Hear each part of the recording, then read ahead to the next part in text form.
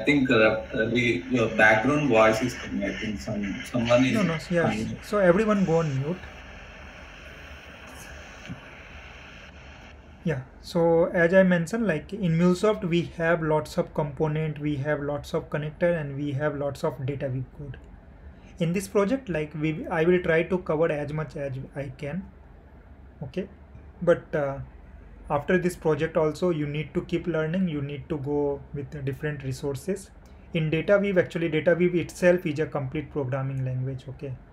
So that for that you need to go through data dataweave document. You need to go through all those predefined function you need to understand okay? On component side also we have 30 plus components. So in this project mostly i think we will able to use 15 to 20 component. Other component you need to learn by yourself then uh, connector wise also like we have 200 plus connector okay? All the 200 connector will not be very frequently used so no one will expect you to know all those connector. In this project we are going to use four five kind of connector maybe five to six connector we will use. But if you have 10 plus connector knowledge then it's good. Like uh, other connector you can learn like file connector jms connector uh, other two three connector you can in file only we have three connector file ftp sftp in jms we have jms connector uh, some other connector you can explore on internet and you can learn okay Ravi, I have one question here. Uh, you tell now we can install MuleSoft runtime in AWS also. Okay, are you going to show us at least uh, sample on that one? No no that is part of uh, on-premise deployment model so here we are work we will work on cloud hub Okay. yeah Ravi, where we can find how many connectors are there and uh, how many components, how many scopes are there? These, where we will get it? This Yeah. statistic. Yeah.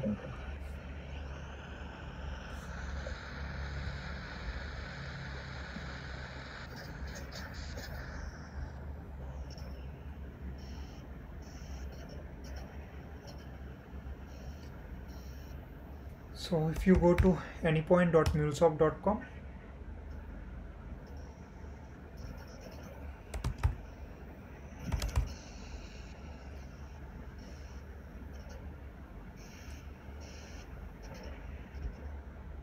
go to this exchange.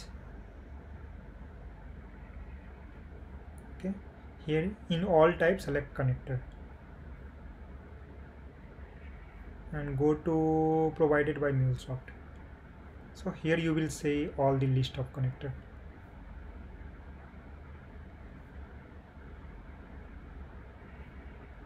Okay.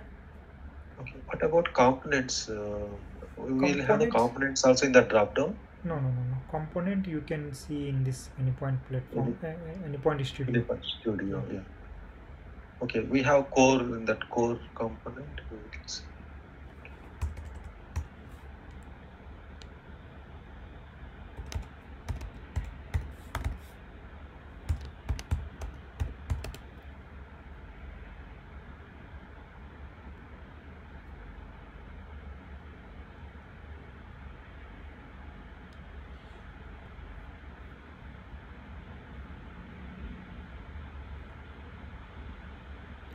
So if someone is very new in uh, MuleSoft, so I will I will show all this step like how to install this software, how to create account in Anypoint platform. Since someone asked some questions, so I'm just going through that question. And this all thing will come slowly. So I, um, I requested everyone to wait for some time. But still, if someone already asked, then let me show. So here you can see in core you will able to see all the components okay? Frequently used connector you will able to see inside this uh, add module. So these all connectors are frequently used connector. So if you are getting time then try to uh, do some POC on other connectors. So here we are going to cover this uh, HTTP one already there. HTTP one we will use. Then we will use Salesforce one then we will use this uh, object store uh, where is that it's not there. Yeah object store we will use. Then we will create one our custom connector that we are going to use socket connector we are going to use database connector we are going to use. So five six connector we are going to use here. Other connector you can learn by like uh, yourself. Do some small small POC going through that connector and you will get some idea uh, Ravi, uh, Anirban here. So we'll use JMS also, right? No, JMS is not there in this project. Okay, I will explain. You will have it at least. Ah, sorry. You will have a discussion at least. Uh, okay, basic I can give you idea, but uh, JMS and all you will get uh, multiple resources. Okay, I will I will tell you basic of this. Yeah, sure. So all those things like whatever we will not cover in this project. So last day we will have some discussion. So during that, if you want any basic knowledge of all those connector, I can give. Okay, no problem.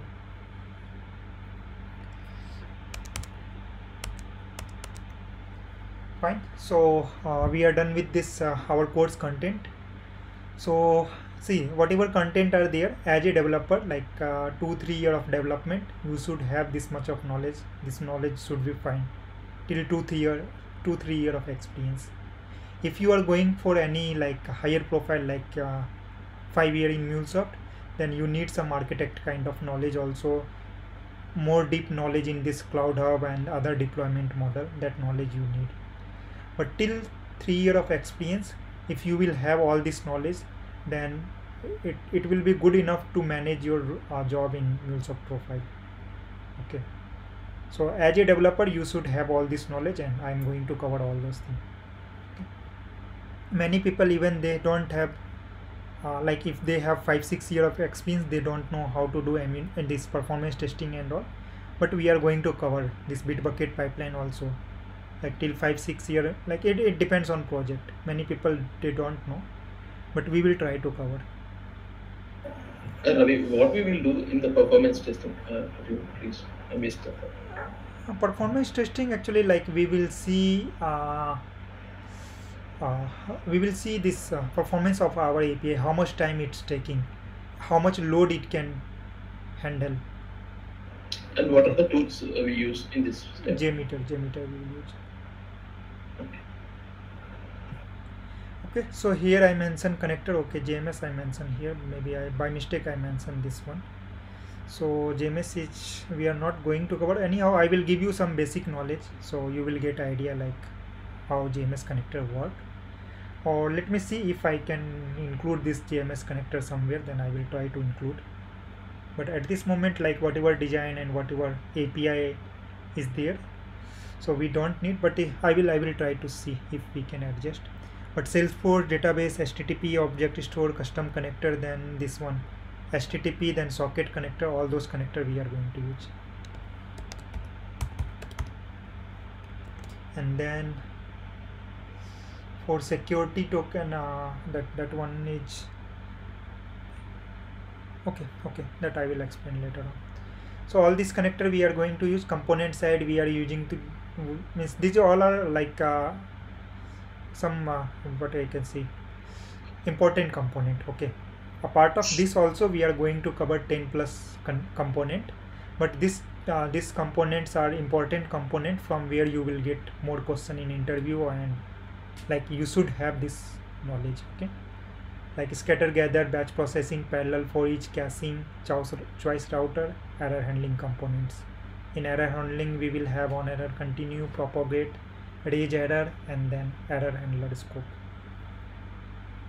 Policy side we are going to use client id uh, enforcement rate limiting spike control http caching basic auth jwt token. Okay?